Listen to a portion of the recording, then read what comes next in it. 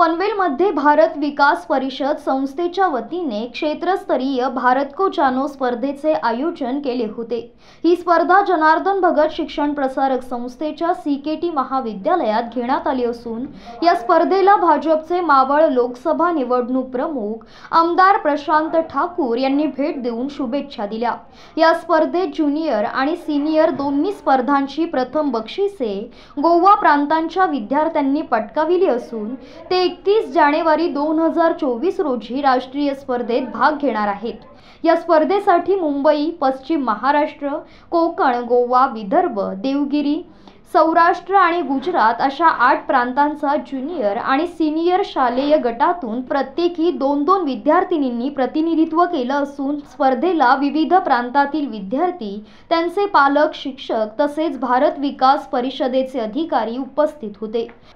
यावेळी राष्ट्रीय संघटन सचिन सुरेश जैन पश्चिम क्षेत्राचे अध्यक्ष ओम प्रकाश कानू नगो कोकण प्रांत अध्यक्ष महेश शर्मा पश्चिम क्षेत्राचे महासचिव लक्ष्मी निवास जाजू वक्ते अतिश कुलकर्णी पनवेल शाखेच्या अध्यक्षा डॉक्टर कीर्ती समुद्र सचिव पद्मजा कुलकर्णी कोषाध्यक्ष शीतल विचारे आणि संस्कार प्रोजेक्ट समन्वयक ज्योती कानिटकर तर बक्षीस वितरण समारंभावेळी महाविद्यालयाचे प्राचार्य डॉक्टर संजय पाटील उपस्थित होते। खुशी इस बात की होती है कि एक विधायक के बतौर मैं जब काम करता हूँ तो उस वक्त बहुत बार ये मालूम होता है कि हम समस्या का समाधान ढूँढने की कोशिश करेंगे। लेकिन समस्याओं का समाधान खुद ही नहीं कर पाते हैं। उसके लिए कई सारे हाथों की आवश्यकता पड़ती है। कई बार सरकार के पॉलिसी से काम नहीं बन पड़ता। उस पॉलिसी को इम्प्लीमेंटेशन करने के लिए उतने ही काबिल ऐसे इंसानों की ज़रूरत होती है। तो ऐसे काबिल इंसान समाज को देने का कार्य भारत विकास परिषद कर रही है और समाज के सामने अच्छे कार्य कैसे किए जाए, इसका एक बहुत ही बढ़िया उदाहरण हर एक कार्य के माध्यम से भारत विकास परिषद रख रही है। इसका मुझे गर्व है और मुझे पूरा विश्वास है कि आप सभी को भी इस कार्य का गौरव होगा।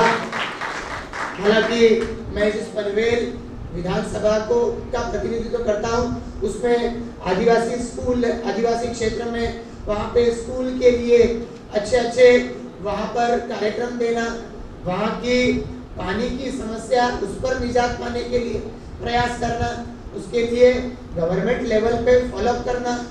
उसी के साथ साथ यहाँ के लोगों को एक साथ लाकर उनके माध्यम से जो हमारे सीमा पर जवान हैं, उन सीमा पर जवानों को उनके दिवाली के लिए उनका भी मुँह मीठा हो जाए, उनको भी अपने घर के जैसा वातावरण वहाँ पर मिले, उसके लिए सैनिक हो तुमच्यासाठी पिछले तीन सालों से उन सैनिकों के लिए यहाँ से अच्छे स्वादिष्ट व्यंजन यहाँ से भेजे जा रहे हैं। मैं समझता हूँ कि ये जो अपनी अपनीपन की भावना उन सैनिकों के प्रति हमारे पनवेल वासियों के मन में निर्माण करने का प्रयास भारत विकास परिषद कर रही है तो इससे हमारे पनवेल वासियों में भी ऊर्जा का संचार होता है और उन्हें लगने लगता है कि हम भी ऐसे ही कार्यक्रम करें। हमारी भी संस्था है तो हम भी कुछ ऐसा काज करें।